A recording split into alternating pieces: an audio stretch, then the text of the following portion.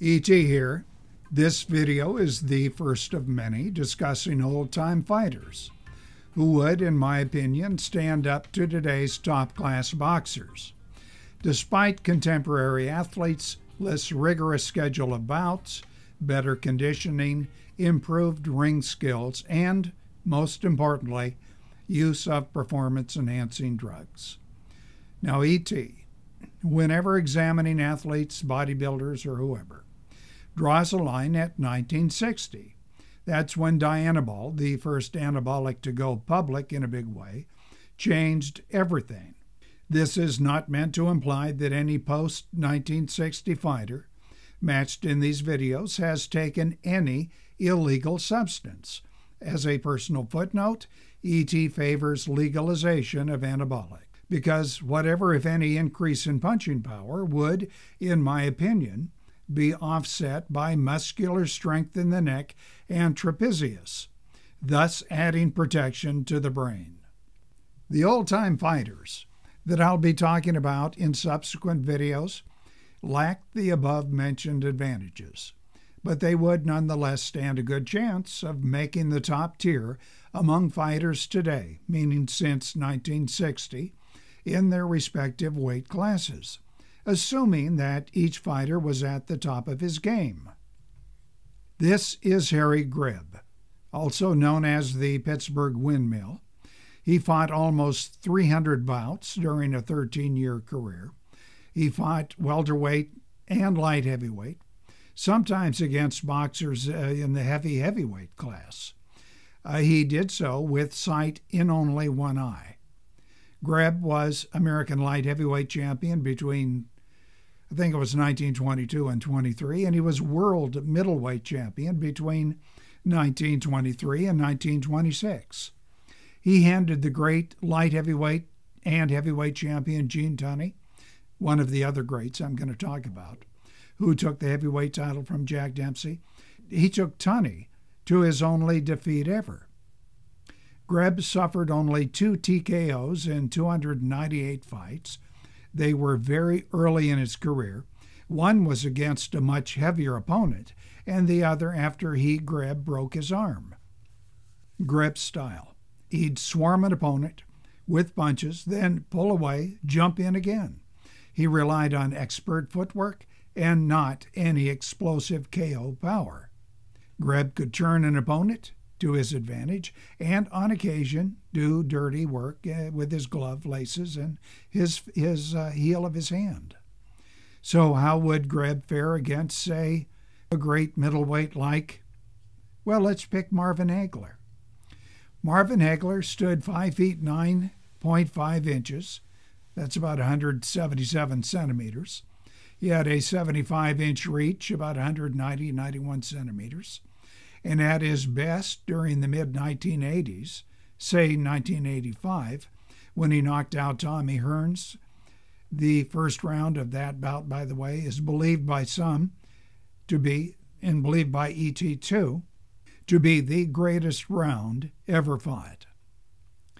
By that time, Hagler had fought 65 of his 67 pro bouts, and he had lost only three uh, the last he would lose to Ray Leonard, which, in my opinion, uh, was a fight that Hagler won. And he lost two in 1976. That's very early in Hagler's career. And against relative unknowns, Willie Monroe and Bobby Watts. Hagler was never knocked out. Hagler's style was, like Greb, to move forward always, never give an inch, swarm an opponent. His knockout power was impressive at 78%. One example being the third round knockout of Tommy Hearns. Harry Greb stood a little bit shorter at 5 feet 8 inches, about 172, 73 centimeters. Greb's reach about 71 inches, 180 centimeters. Many factors determine when a fighter was at his prime. In other words, at his absolute best. We include age, experience, ring wear, overall health. So ET took each fighter's defining fight to determine when each was at his best. Hagler's bout with Tommy Hearns took place in April of 1985. Hagler was 31 and in top shape. He had fought 64 times as a pro against very serious opposition, but none approached the caliber faced by Harry Greb. So, some previous ring damage on Hearns, but plenty of experience. Hagler knocked out Tommy Hearns in round number three. E.T. picked for Greb his first fight with light heavyweight Gene Tunney. Tunney is one of those that E.T. believes could hold his own with any light heavyweight in the contemporary era. But Greb handed Tunney, who outweighed Greb by 12 to 15 pounds, Tunney's only professional defeat, uh, one that Tunney avenged later. Harry Greb was aged 28 in 1922 when he first met Tunney, and he had had, Greb had, 217 fights, victories against top fighters of the day, including heavyweights and light heavyweights when Greb was, was fighting as a middleweight. Uh, several of those were against ex or future world champions. I didn't even mention the many bare knuckle fights in bar tussles and the sparring sessions, some with heavyweight champion Jack Dempsey. The reports came out that Greb roughed up Dempsey pretty bad. So Greb, when he meets in this fictional bout with Marvin Hagler, has quite a bit of ring damage as well as experience.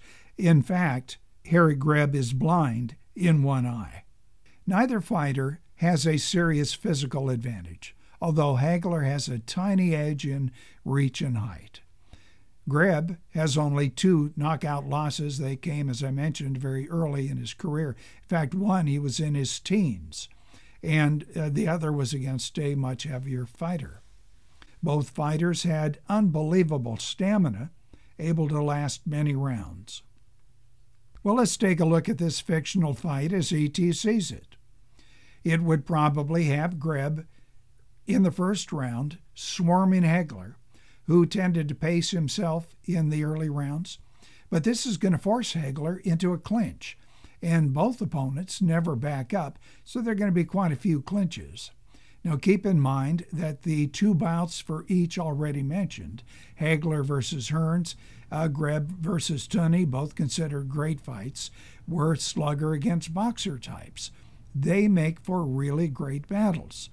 Here, we have two sluggers meeting each other. Hagler, already experienced with sluggers like Roberto Duran and, and Vito Antuofermo, has never grappled with somebody as strong as Greb, who has fought and beat many champions, many ex champions, and soon to be champions. And many of them weigh as much as 35 pounds more than Greb. So, Marvin will find himself either backing up, which Marvin Hagler doesn't do, or clinching, as Greb's relentless punches swarm on him like locusts against his face, kidneys, and liver. Though Hagler realizes Greb's punches lack the power of those of, say, Tommy Hearns. By mid fight, about round five, Hagler realizes that Greb is more of a threat than Antuofermo, with whom he earned a draw in their first fight in 1981, and he, Hagler, may well lose big on the scorecards. So Hagler steps up the pace. He will back away to create more space to counter Greb's windmill style and land a knockout punch. But few of them hit the mark, and none of them slow down Greb, whose footwork allows him to dance around Hagler, move in and out, landing while avoiding the punches. Round number 10 will be seen as one of the greatest in middleweight history because both men are going at it nose to nose, absorbing and throwing punches. At the final bell, both are bloodied and exhausted. They hug and congratulate each other for the warriors that they are. The judges and referee decide in favor of Harry Greb. It's unanimous, but it's a close decision. That is how E.T. sees it, but we'll never know for sure.